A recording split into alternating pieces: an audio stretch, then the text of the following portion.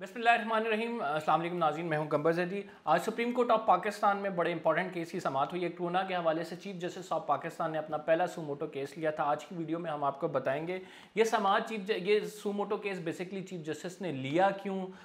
اس کے آج پوری سماعت میں کیا کچھ ہوا اور اس کے آبجیکٹیوز کیا تھے؟ کن باتوں پر زیادہ بحث ہوئی؟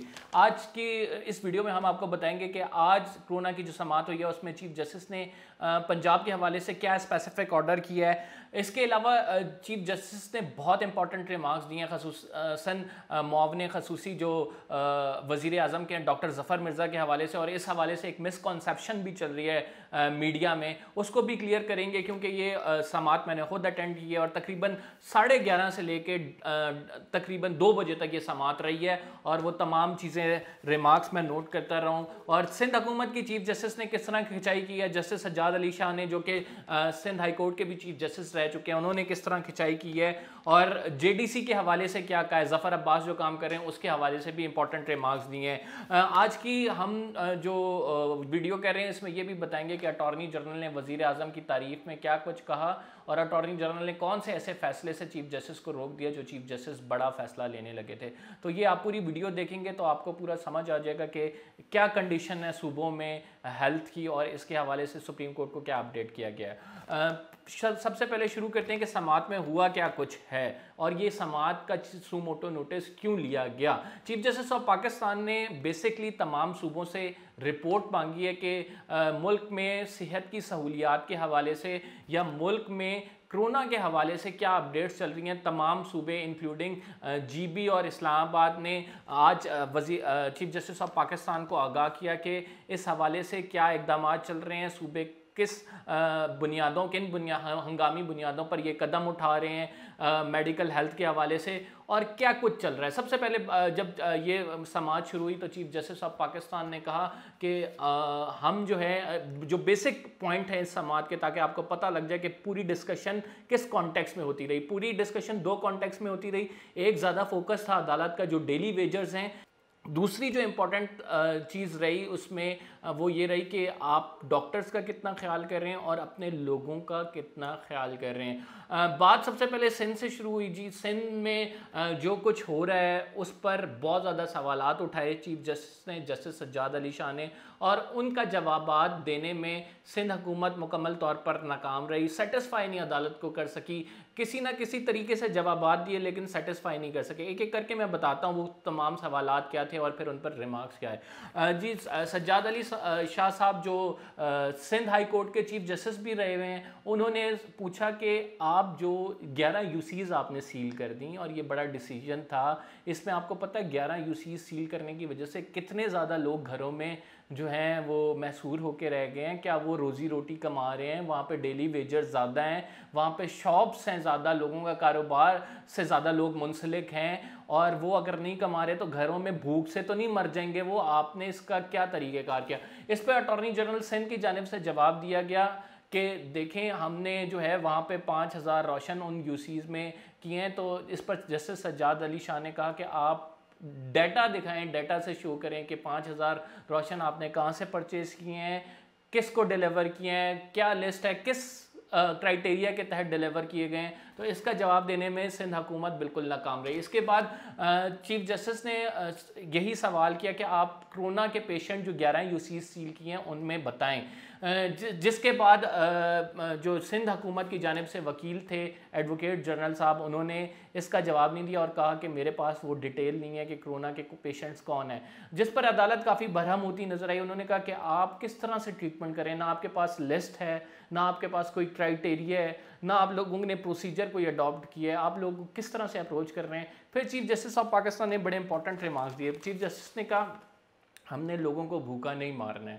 اور اتنی بڑی آفت آئی ہے، اس سے نمٹنے کا طریقہ ہے۔ آپ کو پتہ ہے کراچی میں کتنے لوگ محصور ہو کے رہ گئے ہیں۔ آپ نے تو لاک ڈاؤن کر دیا، لیکن اس کے طریقہ کار، کوئی ایس او پیز کوئی انسٹرکشنز اس حوالے سے پریونٹیو میئرز یہ تمام چیزیں آپ لوگوں نے ڈیفائن اگر کی ہیں تو آپ لوگوں اس کے آگے کا بھی لائے عمل ہو کہ جو لوگ بھوک سے مر رہے ہیں ان کا کیا علاج کیا جائے۔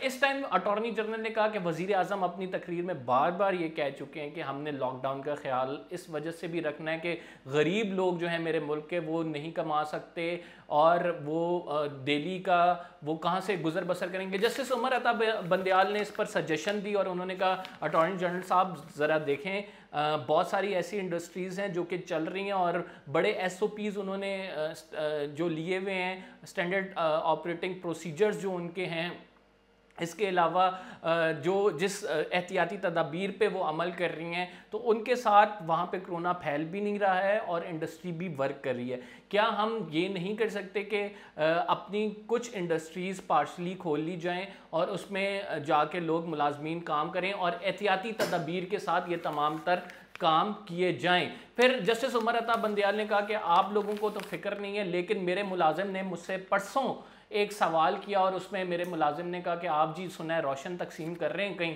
تو وہ ایک روشن کا بیگ میرے گھر بھی بھجوا دیں، جس پہ جسٹس عمر نے کہا میرے دل کو وہ بات لگی اور میں نے کہا یہ جو ہیں لوگ ہمارے ملک میں کتنے مجبور ہیں اور اس بات نے مجھے مجبور کیا کہ میں آج یہ آپ لوگوں کے سامنے کہہ رہا ہوں کہ خدا رہا ان غریب لوگوں کا بھی خیال کریں، وہ اس ملک کا حصہ ہیں اور یہ فنڈامنٹل رائٹ ہے، آپ نے ان تک ہر شہری تک خوراک تعلیم اور صحت اور اس کی موومنٹ کے حوالے سے ریسٹرکشن لگا رہے ہیں، تو اس کے فنڈامنٹل رائٹس کا بھی خیال کریں اور یہ قانون بھی کہتا ہے۔ اس وجہ سے تمام سماج جو ہے آج ڈیلی ویجرز کے حوالے سے اس پر زیادہ بات ہوئی کہ کس طرح سے لوگ جو کراچی میں اسپیشلی محصور ہیں، جو بند ہیں، ان کو کس طرح سے خوراک کی فراہمی کی جائے یا حکومت کی جانب سے کیا اقدامات اٹھائے گئے ہیں؟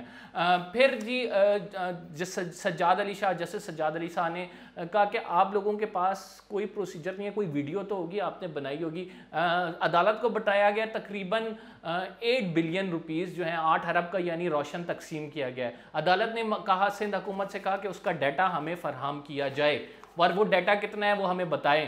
تو اس کا جواب دینے میں سندھ حکومت ناکام رہی اور انہوں نے کہا کہ ہمارے پاس کوئی ڈیٹا موجود نہیں ہے۔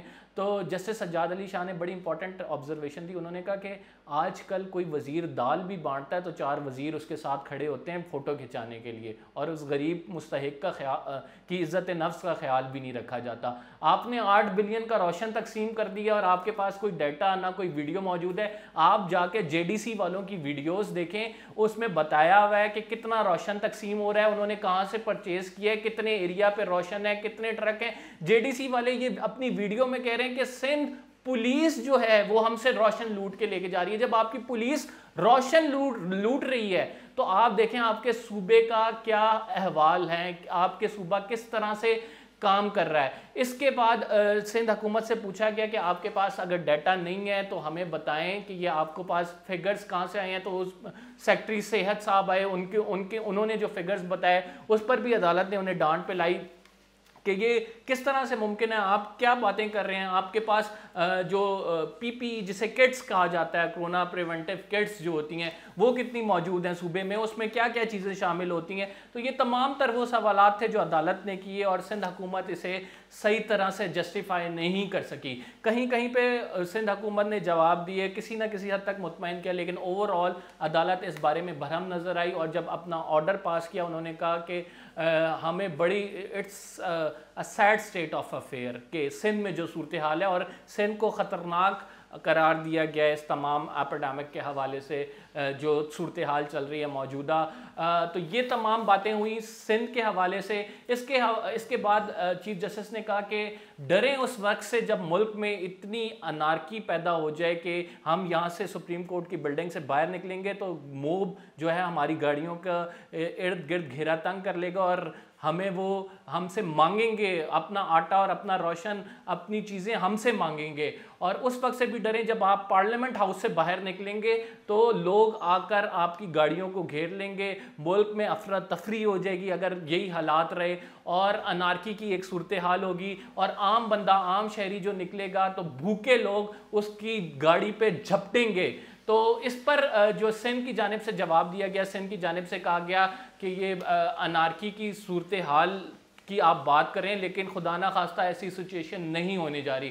جس پر تمام جج صاحبان نے متفقہ طور پر سر بھی ہلائے اور کہا کہ آپ جو باتیں، آپ جس طرح سے جواب دے رہے ہیں نا، تو یہ آئندہ آنے والے وقتوں میں ہمیں یہی لگ رہا ہے کہ یہ صورتحال ملک میں پیدا ہونے والی ہے۔ پارلیمنٹ کے جوائنٹ سیشن کے حوالے سے بات ہوئی کہ وہ کیوں نہیں بلایا گیا تو سوشل ڈسٹینسنگ کا کہہ کے کہ میئرز اٹارنی جنرل نے کہا کہ سوشل ڈسٹینسنگ کو پرموٹ کرنے کے لیے ہم نے یہ نہیں بلایا۔